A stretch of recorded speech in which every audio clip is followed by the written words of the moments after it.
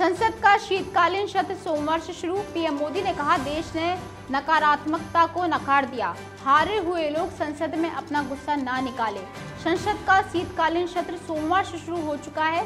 चार राज्यों के परिणाम के बाद संसद का ये पहला सत्र है। ऐसे में पीएम मोदी के लोकसभा में पहुँचते ही मोदी सरकार के नारे लगे और प्रधानमंत्री का जोरदार स्वागत किया गया। इसके बाद संसद की कार्रवाई को शुरू किया गया। संसद सत्र के शुरू होने से पहले मोदी ने चार राज्यों के विधानसभा चुनाव परिणाम को लेकर महत्वपूर्ण टिप्पणी करते हुए कहा है कि देश ने नकारात्मकता को नकार दिया है। जो लोग हारे हुए हैं, वे संसद में अपनी हार का गुस्सा ना निकाले।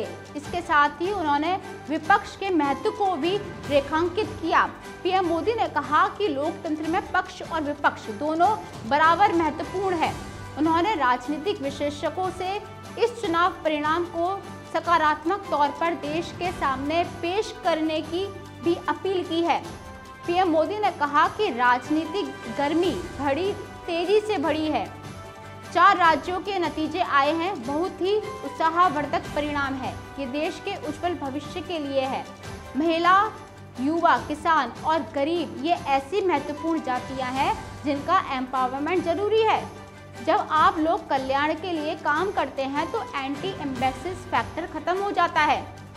तीन राज्यों में बीजेपी की जीत के बाद मोदी ने कहा कि कुछ लोग इसे सत्ता समर्थक, सुशासन या पारदर्शिता कहते हैं। देश में यह देखा जा रहा है। देश ने नकारात्मकता को नकार दिया है। लोगों की आशंकाओं को मज़बूत करने के लिए लोकतंत्र का मंदिर महत्वपूर्ण मंच है।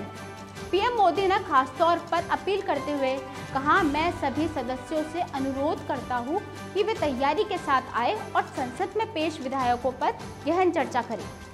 विधानसभा चुनाव के नतीजे लोगों के कल्याण, देश के उज्जवल भविष्य के लिए प्रतिबद्ध लोगों का उत्साहवर्धन करने वाले हैं। जो लोग महिलाओं, युवाओं, किसानों, गरीबों के चार जातियों के सशक्तिकरण के सिद्धांत पर चलते हैं, उन्हें ज़बरदस्त समर्थन मिलता है। जब जन कल्याण के लिए प्रतिबद्धता हो तो सत्ता विरोधी शब्द अप्रासंगिक हो जाता है।